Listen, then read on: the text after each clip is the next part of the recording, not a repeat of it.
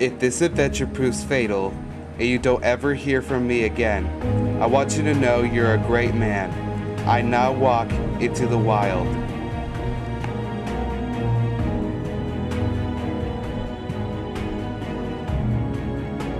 My name is Jon Krakauer.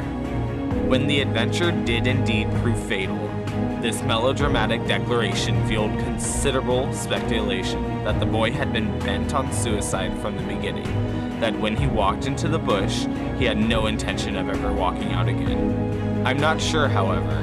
My suspicion that McCandless's death was unplanned, that it was a terrible accident, comes from reading those few documents left behind and listening to the men and women who spent time with him over his final year of life. But my sense of Chris McCandless's intentions comes from a more personal perspective.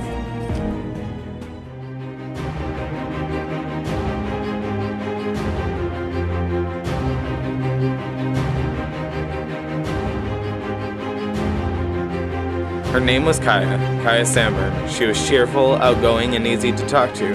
She helped me and welcomed me into her home.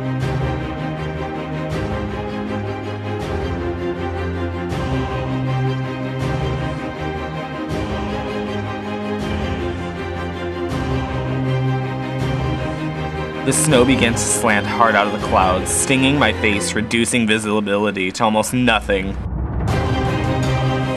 Alone, abandoned, vulnerable, lost.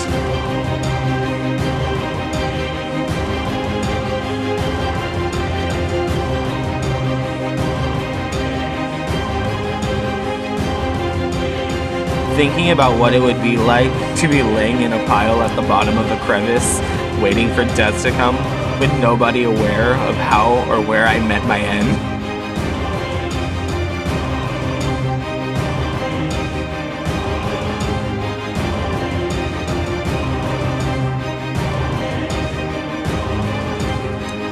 After being up so high, the only place to go was down.